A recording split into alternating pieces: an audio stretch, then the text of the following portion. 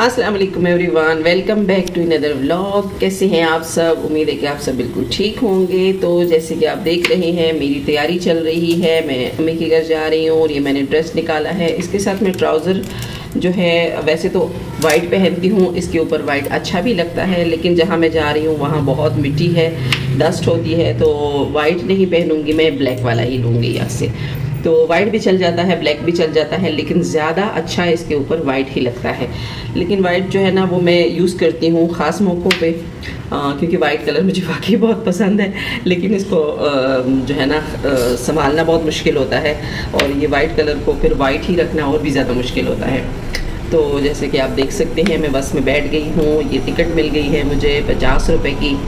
और मैं मेट्रो में जा रही हूँ जब बस में जाना होता है ना या अकेले जाना होता है ना तो फिर मैं स्टॉप तक इनके बाबा के साथ चली जाती हूँ और वहाँ से मैं बस में बैठ जाती हूँ। अब ये थोड़ी सी सहूलत हो गई है, ये वाली बसें बहुत आरामदेह हैं, बहुत पुरसकून है एसी भी है इसमें, जो मेट्रो की बसें हैं और इसके किराए भी बहुत रिजनेबल है और दूसरे बसों की नस्बत ये बसें बहुत ज़्यादा कन्वीनियंट रहती हैं। बस ये है कि हर जगह नहीं जाती, मखसूस जगहों पे जाती है तो मेरे लिए थोड़ी सहूलत हो गई है। कि हमारे घर के स्टॉप से जो है ना, अम्मी के घर के स्टॉप तक ये बस जाती है सीधी डायरेक्ट और अब मैं बैठ चुकी हूँ। मैं आज आपको यहाँ से बाहर की व्यू भी दिखाऊँगी और बस का जो मेरा टूर है वो भी दिखाऊँगी। मैं भी इंजॉय करूँगी, आप भी इंजॉय करेंगे इस सफ़र को। तकरीबन 30 से 40 मिनट का सफ़र है मेरा इसमें। और बाकी भी मेरा 20-20 मिनट का मिनट का जो है ना सफ़र होता है अपने स्टॉप से घर तक जाने का, अम्मी के स्टॉप से भी घर तक जाने का और अपने स्टॉप से भी घर तक आने का 20-20 मिनट का डिस्टेंस है। तो अभी जहाँ से हम गुज़र रहे हैं, ये डिफेंस है। तो आपको भी मैं नज़ारे करा रही हूँ, कराची के डिफेंस की। ये डिफेंस के बीच में से चलती है और व्यू आप देखें, मौसम आज का तो बहुत ही अच्छा है। आज का ही नहीं, पिछले कई दिनों से मौसम बहुत ज़बरदस्त चल रहा है। बिल्कुल भी धूप देखने को नहीं मिली है। बहुत ही अच्छा मौसम चल रहा है। हर वक्त बादल छाए होते हैं। और बारिश बारिश भी नहीं होती क्योंकि कराची में हम लोग बारिश से ज़रा तंग हो जाते हैं। पानी का कोई बंदोबस्त नहीं है ख़ास इस वजह से। तो मौसम जब ऐसा सुहाना होता है तो फिर तो बाहर जाना जो है ना बहुत ज़रूरी होता है। लेकिन हम कम ही जाते हैं रियर अब अब आप देखेंगे आगे जर्नी में कि हम कितना बाहर जाते हैं। लेकिन ये जो सामने का समंदर का व्यू है तो बहुत ही ज़्यादा ज़बरदस्त लगा था। मैंने कहा थोड़ा सा मैं इसको नज़दीक से जो है ना आपको दिखाऊँ तो फिर मैंने थोड़ा सा कैमरे को जूम भी किया ताकि आप देख सकें समंदर की लहरों को। तो ये जो हर्ट्स वगैरह है, इनकी तो हालत काफ़ी ख़राब हो गई है, लेकिन ये है कि बाहर के नज़ारे बहुत ज़बरदस्त है, बहुत खूबसूरत है नज़ारे यहाँ के। तो यहाँ से मैं आपको बस से बैठे बैठे खुद भी इंजॉय कर रही हूँ और आपको भी इंजॉय करा रही हूँ। अब बस तकरीबन मेरी मंजिल पहुँचने वाली है थोड़ी देर में। तो फिर मैं उतर जाऊँगी क्योंकि मैं अब साइड पे आ गई हूँ। क्योंकि दोनों सीटें खाली थी। ये बसें थोड़ी सी खाली ही होती हैं। बहुत से लोग इसमें जाने में भी कतराते हैं समझते हैं कि शायद टिकट ज़्यादा होगी या पता नहीं आ, हमारी उस पर जाएँगी स्टॉप पे जाएँगी या नहीं। लेकिन ये है कि जो जो इनके रूट्स होते हैं सामने इन्होंने चिट लगाई होती है। उसके ऊपर लिखा होता है कि इस बस ने कहाँ से कहाँ तक जाना है। कौन कौन से स्टॉप्स हैं इनके। लेकिन ये है कि अभी भी बहुत सारे लोग हैं जो नावाकिफ़ हैं इससे इस वजह से इसमें रश ज़रा फ़िलहाल कम है। तो जब लोगों को अच्छी सी वाकफियत हो जाएगी तो फिर इसमें भी वही रश होगा जो हमारी कराची का रश होता है। हमारी कराची में रश माशाल्लाह से बहुत होता है और रश में रौनक भी रहती है अच्छा भी लगता है। और, रश का अपना ही मज़ा है और अभी जो ये पुरसकून माहौल है, इसका अपना ही मज़ा है। एसी भी है और रश भी कम है।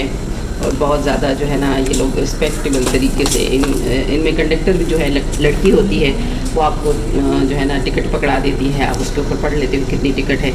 तो मेरे घर से यहाँ तक आने की इनकी पचास रुपये टिकट थी, वो मैंने पे कर दी। और फिर मैं जब मेरी जगह पहुँची तो ये जितने भी यहाँ पे बस के अंदर जो पोल्स लगे हुए हैं ना, इनमें बटन्स हैं। तो आपको बोलने की, आवाज़ देने की भी ज़रूरत नहीं है। आप बटन दबा दो तो बस रुक जाएगी और आप आराम से उतर जाओगे। तो अभी आप देखोगे ये बटन जब मैं दबाऊँगी ना रेड लाइट ऑन हो जाएगी और जो है ना बस स्टॉप हो जाएगी। तो बहुत ही अच्छा सफ़र रहा मेरा। उम्मीद है कि आपका भी मेरे साथ अच्छा ही गुजरा होगा। तो अभी मैं उतर के ना सामने से भी पूरी बस का व्यू लेके दिखाऊँगी आपको। तो अभी मैं उतरने लगी हूँ बहुत आरामदेह तरीके से, क्योंकि इनका जो स्टेप है ना उतरने का, वो बहुत नीचे तक है। तो बस, जो फुटपाथ होती है उसके नज़दीक ही आप जो है ना आराम से ऐसे आगे जाते हो जैसे कि कोई स्टेप है ही नहीं। फुटपाथ जितना ही ये ऊंचाई पे है इतनी ही हाइट है। इन बसों की जो चढ़ने की स्टेप है या उतरने की स्टेप है, ये फुटपाथ जितनी आप देख सकते हैं, बहुत ही नीचे तक है। तो बहुत ही अच्छा रहा मेरा सफ़र। और इस सफ़र के बाद फिर आज, जैसे ही सामने मैंने देखा, मौसम तो आप देख ही रहे हैं। मौसम को तो मैं इंजॉय कर ही रही हूँ। फिर जैसे मैंने सामने देखा, मुझे कुछ ऐसा नज़र आया। कि जिसको कोई भी जो है ना लड़की या औरत इग्नोर नहीं कर सकती। तो सामने मुझे जूते नज़र आए। मैं कैसे इग्नोर कर सकती थी जूतों को? तो जूतों की मुझे ज़रूरत भी थी और जूते थे भी बहुत प्यारे। तो ये देखकर तो ऐसा लगा कि जैसे सोने पे सुहागा हो गया। आ, मुझे ज़रूरत भी थी बाज़ार जाना भी नहीं हो रहा था और बिल्कुल सामने ही बहुत अच्छे प्यारे जूते थे। तो मैं ये नहीं देखती हूँ कि लंडे के हैं या लोकल है या ब्रांड के हैं। जहाँ पे भी चीज़ अच्छी हो और रेट मुनासिब हो, मैं चीज़ ले लेती हूँ। मैं लंडे से भी लेती हूँ, लंडे से तो ज़्यादा लेती हूँ, मुझे लंडे के ज़्यादा पसंद है, क्योंकि वो बहुत कन्वीनियंट रहते हैं, दूसरा ये है कि रिजनेबल होते हैं। और यहाँ मैं फिर देख रही थी, एक दूसरी बाजी भी पहले से लगी हुई थी तो मैंने कहा वो फ़ारिग हो जाए, फिर मैं जो है ना अपने लिए चूज़ करती हूँ। साथ साथ मैं कैमरा ऑन ही था पहले से ही तो मैंने ऑन ही रखा और मैंने कहा चलो मैं आपको के साथ भी ये चीज़ें शेयर कर लूँ। तो फिर आपके, आपको दिखाने के बाद फिर मैंने इनमें से शूज़ जूते सेलेक्ट किए और मैं तीन चार जोड़े लेकर आई हूँ, जो कि मैं आगे आपके साथ शेयर करूँगी। बहुत ही ज़बरदस्त जूते मैंने इसमें से निकाल के पसंद किए हैं। बहुत ही कम यूज़ हुए हैं और बहुत ही प्यारे हैं। तो वो तो इंशाल्लाह मैं आपके साथ बाद में शेयर करूँगी। अभी मैंने कहा मैं आपको सारी जो है ना रेडी दिखा दूँ। बहुत ही रिजनेबल मिले मुझे, क्योंकि जब भी बाज़ार में होते हैं ना तो फिर तो बहुत बहुत ज़्यादा महँगे होते हैं। और अब मैं घर पहुँच गई हूँ और घर में मैं ये बेबी के साथ खेल रही हूँ। ये मेरी बहन का छोटा सा बेटा है। ये भी हार्डली दो तीन महीने का हो गया है। इसकी मैंने पिक्चर भी शेयर की थी जब ये न्यू मतलब पैदा हुआ था बॉर्न बेबी की। और अब जो है ना खाना आ गया है। तो बेटी आए और फिर खाना स्पेशल ना बने तो ये तो हालाँकि मैं बिल्कुल दोपहर में ही पहुँची थी लेकिन इन्होंने फ़ौरन से बिरयानी बिरयानी का भी बंदोबस्त किया। घर में तो सब्ज़ी बनी थी आप देख सकते हैं अचारी बैंगन बने हुए हैं और रात की कड़ा कड़ा कड़ी भी है और साथ में जो है ना इन्होंने फिर बिरयानी मंगवा खाना खाने के बाद फिर मैंने वापसी कर ली फिर अभी आपसे घर में मिलते हैं। आज की चाय। किसने बनाई? बाबा आपने बनाई है? बनाता हूँ क्या तो